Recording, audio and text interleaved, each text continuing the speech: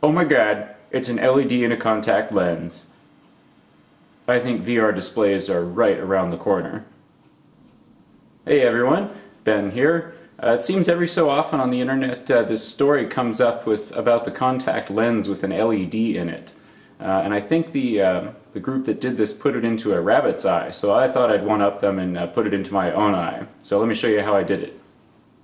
I started by winding 40 turns of number 40 wire on a form. This is just an aluminum rod that's uh, 5 16ths of an inch in diameter. And I soldered the ends of the magnet wire to a very small 0402 LED. And this is a low profile 0402 LED. Uh, so that when I put this into the contact lens it won't uh, poke out so much. Uh, the total height of this whole thing is under a millimeter. It's very hard to measure because the coils kind of overlap and, and make it difficult. Uh, anyway, so, so the way that I um, plan to power this circuit is just through plain inductive coupling. I originally wanted to uh, do a tuned circuit and have a uh, capacitor inside the contact lens as well. So the best way of transferring power through a large airspace is with a, uh, a resonant inductive circuit. Uh, unfortunately, there's just so little room inside the contact lens, I went with just a straight coil. So the coil is connected directly to the LED, and for half the cycle, uh, power won't flow because the LED is blocking it, and through the other half of the cycle, power will flow through the LED and we'll get some light out of it. So I tried a few different drivers. Um, I was hoping to switch the power on and off through the transmitter coil, which is uh, about 80 turns of uh, number 32 wire and uh, didn't have much luck with that so I ended up sort of making a spark gap transmitter. I know this is pretty silly but I had a relay laying around and I noticed that when I just engaged the relay and sent power through the transmit coil I would get a, a flash out of the LED. And I tried doing this with semiconductors switching elements and couldn't get it to work. It really had, it was actually using the spark as the transmitting uh, element, so it was dumping you know broadband noise into the coil, and eventually some frequency uh, propagated well enough through the system to actually light the LED up. So I figured I would just turn the relay on and off over and over again and make myself a little strange spark gap kind of transmitter here. So that's what I did. I used my uh, frequency generator and a simple low power switching transistor just to open and close the relay and that dumps power through the transmit coil uh, you know a few times a second. So I tested it out on the bench and put the, the small 40 turn receiver coil inside the transmit coil which has a diameter of about an inch and a quarter and uh, it was you know it was reliable I could get the LED to flash pretty well.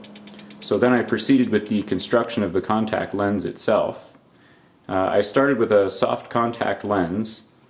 Uh, this is a uh, Vision Toric, Focus, Focus Toric I think.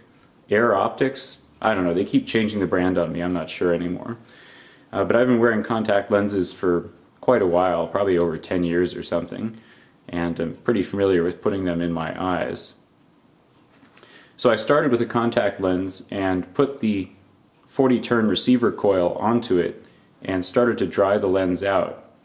Um, oh, I should add, I, I, soaked these lenses in distilled water for a while. Uh, I was following the directions that I found online uh, that a research group put together for doing search coils inside contact lenses. So a search coil is a way to do eye tracking uh, by embedding a coil into a contact lens. And the uh, research group was nice enough to publish some construction details in their paper. Unfortunately, it didn't quite pan out, so I soaked the lens in distilled water and kind of laminated the receiver coil between uh, that lens and another lens, which I also soaked in distilled water. Uh, but it didn't take. It, it was, uh, it, you know, the, the, lenses didn't stick together well enough. So what I ended up doing was uh, heating up a pair of tweezers and then pinching the two lenses at the periphery to sort of melt the plastic together. And this worked okay. It actually did um, stitch the two lenses together well enough. Unfortunately, it was even less uh, comfortable in my eye with this strange kind of burned, you know, twisted plastic edge on there. I, I wouldn't say it was extremely painful, but it was definitely um, not something you'd want to keep going for a long time. good to make a video, but not good to wear uh, throughout the day. But I will add, when I had the contact lens, uh, just my, my initial try where I just had the two lenses uh, cemented together without any of this, you know, hot tweezer burning, it actually was, you know, reasonably comfortable. I mean, the, the front and back surfaces are both smooth. It was a little bulky in my eye, but it was definitely smooth and I could blink and move my eye around and it seemed just fine. So if any of you have any tips about gluing contact lenses together, uh, let me know. I've tried super glue in the past for other contact lens projects and that really doesn't work very well because the super glue um, fogs the contact lens, causes it to turn milky and uh, it's very difficult to get the thing in the right place uh, before the glue sets. So take a look, here's some more footage of uh, the lens of the LED flashing in my eye. And now of course I did this for your benefit so the LED is facing outward. if I were going to make a, a real VR display with this thing, obviously the LED would have to face inward, which I also tried off camera, and um, the light is unfocused. So one of the problems with building a display in a contact lens is that uh, there, there needs to be a, a lenslet or a small lens uh, between the light source and the edge of the contact. Uh, otherwise, the light just sprays out into your eye and covers the entire retina if you actually want to make an image from something that's being projected from the surface of the eye, you have to get some additional optics in there. And if you want to do an entire two-dimensional display, you have to have an optical element for essentially every pixel. So there's a lot of um, technical issues that are going to prevent contact lens displays from happening anytime soon. But, you know, the future's a long way off, right? Okay, see you next time, guys. Bye.